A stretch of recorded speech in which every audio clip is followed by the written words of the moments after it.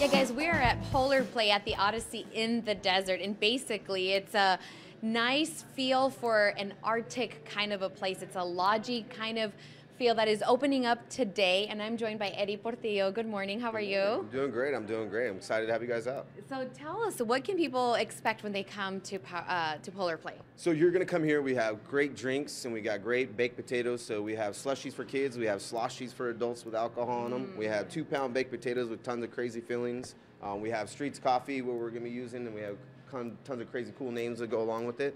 You get a nice lodge fill in here, and you'll get a nice parka coat. It's uh, going to be $10 for kids, $15 for adults. Okay. And then uh, you get the experience of going in the freezer for an hour. Very good. And I have over here Dustin. He is the chef here, and tell us what kind of a baked potato is this?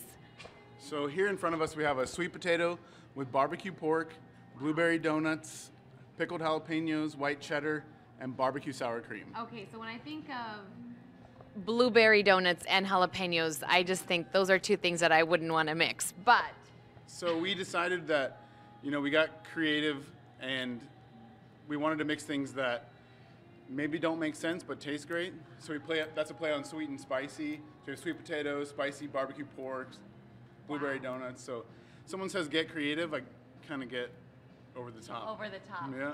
Well, thank you so much for sharing that. And there's plenty of other crazy options in your menu. Um, we're going to actually take a look at inside a polar experience. And Eddie, you have even like the sound of Yeah, what you- it would be like to be in the polar, you know, up You're in gonna get the whole effects, just like if you're in the North Pole, South Pole. You'll come in here, you'll get get the rules and regulations of coming in there, no running and jumping.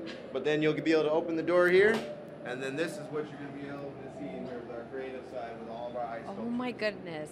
So kids and adults. Yeah, kid both. friendly, absolutely. And then we're hoping to be able to keep this place packed and busy and do that um, after dark for the adults. So we have uh, bag toss games in here, checkers. You have a shuffleboard in here, tons of ice sculptures to sit and take pictures next to.